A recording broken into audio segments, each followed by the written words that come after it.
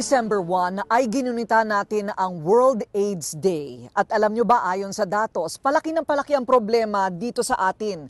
Alam nyo bang 17,000 bagong kaso ng mga bagong impeksyon ngayong taon pa lamang sa Pilipinas? Kumusta na ba silang mga nakikipaglaban sa kanilang buhay, lalo't ngayon may pandemya pa? Kumusta na at may pag-asa pa ba silang mga tinaguriang may pulang laso? Iyak ako ng iyak. Niyakap ko na yung mga kapatid ko, nagkapaalam na ako. Sabi ko, babay, mamamatay na si kuya. Kasi yun yung alam ko.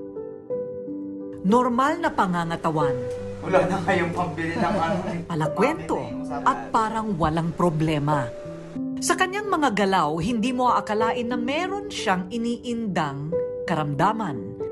Sakit na panghabang buhay niyang dadalhin at bumago ng kanyang kapalaran. Hi guys, magandang araw sa inyong lahat. Siya si Kael Mata, 29 years old pa lang, ng Pasig City. Na-diagnose na HIV positive noong February 2014. Doon sa Miss Gay, mayroong mga tao na gustong mag, uh, nag invite magpa-HIV test. And then, in-invite nila ako. Then, um, nagpa-test ako for HIV. And then, to found out na, yun nga, ako ay nag-reactive that time.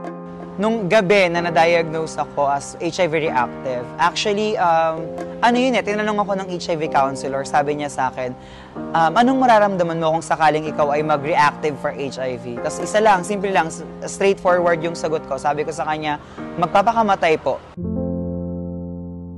Until nung umuwi ako ng bahay, iyak ako ng iyak. Niyakap ko na yung mga kapatid ko, nagkapaalam na ako. Sabi ko, babay, mamamatay na si kuya. Kasi yun yung alam ko na mamamatay na talaga ako.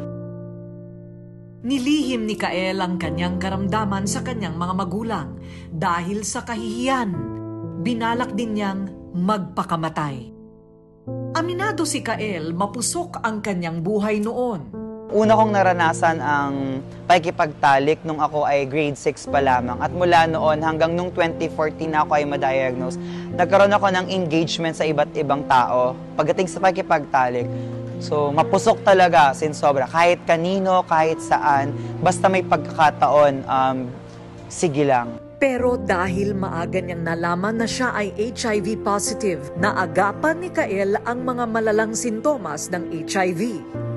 Isa si Kael sa 70% ng ating populasyon na walang alam sa panganib ng HIV. Ang HIV o Human Immunodeficiency Virus ang isa sa pinaka nakamamatay na virus na kumitil na ng milyon-milyong buhay sa mundo. Isang klase ng sexually transmitted disease na sumisira sa depensa ng katawan laban sa mga sakit.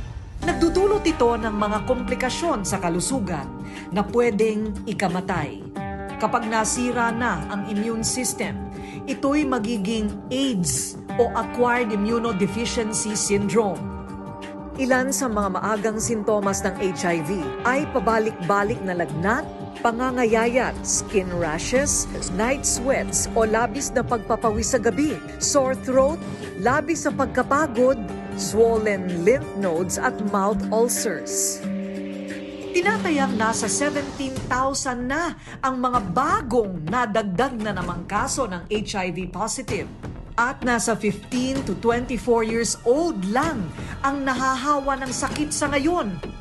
Pabata ng pabata ang mga naiimpeksyon. Sa kabuuan, mayroon ng mahigit isandaang libong kaso na ng mga reactive cases o mga taong positibo sa HIV.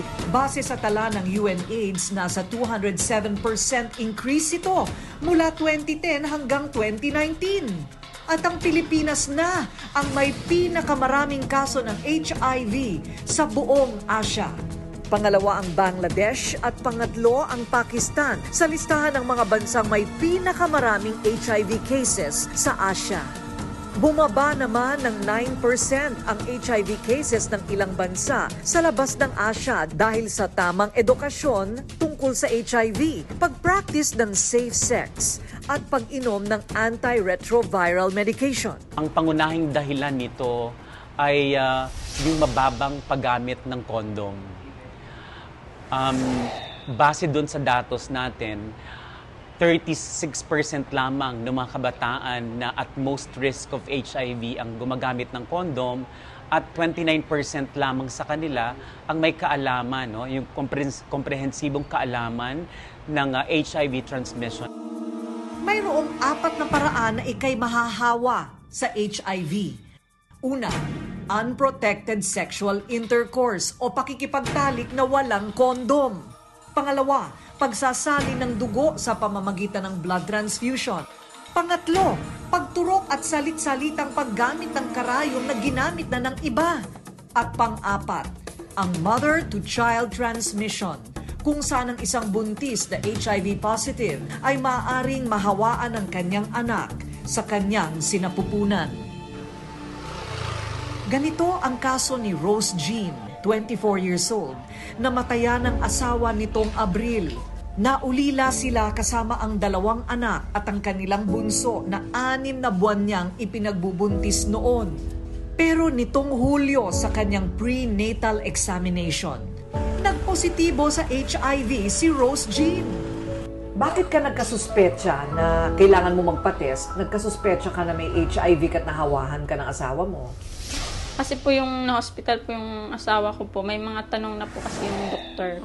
Kaya napaisip na rin po ako na ganun po kayo. Nung may pagkakataon po sa center po para po sa HIV, nagpa-test po talaga po ako. At buntis ka na noon kay Ian. Opo. Na-hospital siya po, mag 4 months na po yung tiyan ko. Tapos, yun nga po, nawala na po siya. So yung pangamba mo, nagkatotoo. Opo. Nung malaman mo na may HIV ka, anong naging reaction mo? Ano po, masakit po. Magulo po yung isip ko kasi nandun po ako sa sitwasyon na mahirap po yung nangyari sa kanya. Tapos nabuntis pa po ako. Tapos yung mga bata po ang iniisip ko po. So nahawahan ka ng mister mo at ngayon naiwan pa kayong mag-iina. Galit ka ba sa kanya? Nagagalit po ako sa kanya, ma'am. Kaso po, nawala na rin po kasi may mga anak po kami. Kailangan ko pong tanggapin po yung nangyari kasi kung hindi ko po matanggap sa sarili ko po, wala pong mangyayari po. Sunod-sunod ang dagok na dumating sa buhay ni Rose Jean. Namatayan siya ng asawa nitong Abril dahil sa AIDS.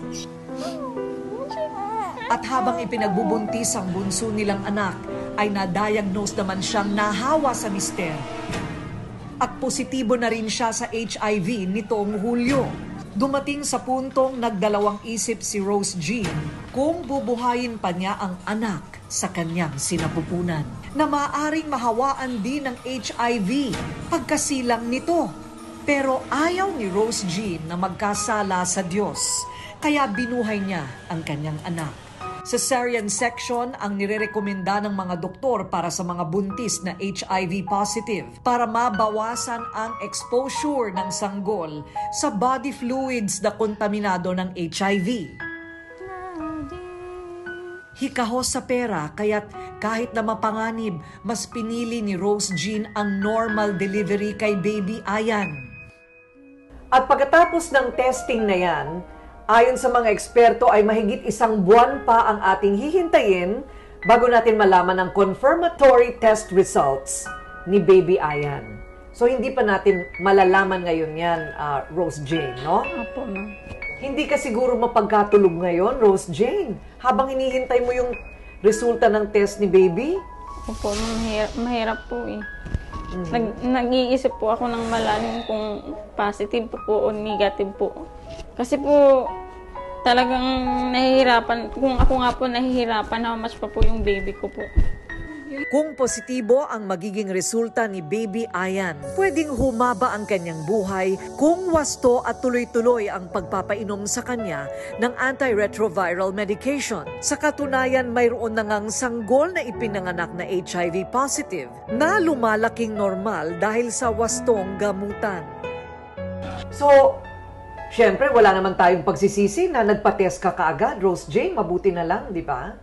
Wala naman po. May pag-asa pa po akong mabuhay pa po ng matagal-tagal. Kaya po ang payo ko po sa sa mga tao pong hindi pa po alam yung result po, magpa-test na po sila para po malaman po nila yung kalagayan nila at magkaroon po sila ng clue po na mapagaling po yung sarili nila po. Makahanap po sila ng gamot. At hindi makahawa ng iba. Opo. Di ba? Opo.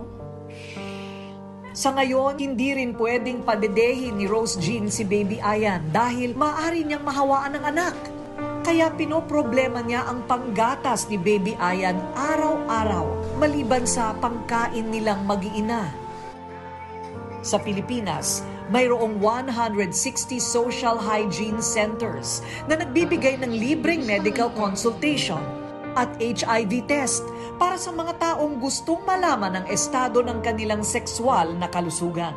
Libre ding ibinibigay ng DOH ang antiretroviral drugs o ARV. Ito ang gamot para sa mga tinatawag na persons living with HIV. Pinipigilan ang pagkalat ng virus sa loob ng katawan ng isang taong HIV positive. Kung tama at patuloy ang pag-inom nito, maaring mahaba pang maidudugtong ang buhay ng isang taong kahit positibo. kinakailangan lang po nila uminom ng um, tinatawag na ARV or yung antiretroviral drug. Kailangan lang po at tama ang pag-inom nila, tama sa oras. Kailangan po hindi po sila lumiliban. Isa si Nanay Elena Felix, 65 years old, sa mahigit labing tatlong taon nang umiinom ng ART. Nahawaan siya ng HIV ng kanyang partner sa Dubai. Mabigat yon para sa akin kasi para akong pinagsakloban ng langit at lupa. Yung hindi ka nabigyan ng tamang information na pwede, pwede pa pala akong mabuhay ng matagal. So yun, yung binigyan ako ng hopelessness, kawalan ng pag-asa. O syempre yung hiya, yung takot na baka mahawahan ko yung mga kasamahan ko, yung takot na pandirihan ako. Gumuho yung pangarap ko, hindi sa sarili ko eh, kundi sa aking mga anak. So siguro yun yung mas mabigat para sa akin. Kaya nag-isip ako na tatapusin ko na lang yung buhay ko. Payo ng mga otoridad, importante ang maging responsable pagdating sa sex life, ang paggamit ng kondom, pagiging matapat sa partner, at ang hindi pagkakaroon ng sex o ang hindi pakikipagtalik kung kani-kanino ang siyang magliligtas sa atin sa sakit. Ugaliin ding magpa-test kada tatlong buwan kung ikaw ay aktibo para malaman at maagapan ang HIV. Wala pang natutuklasang gamot sa HIV. Tanging maintenance medication lang ang iniinom ng mga taong positibo sa sakit para madugtungan ang kanilang buhay. Mahirap ang pinagdadaanan ng mga taong positibo sa HIV. Higit na mas kailangan nila ang pangunawa at pagtanggap. Huwag natin silang huhusgahan. Dahil sa pagmamahal natin sila kumukuha ng lakas at pag-asa.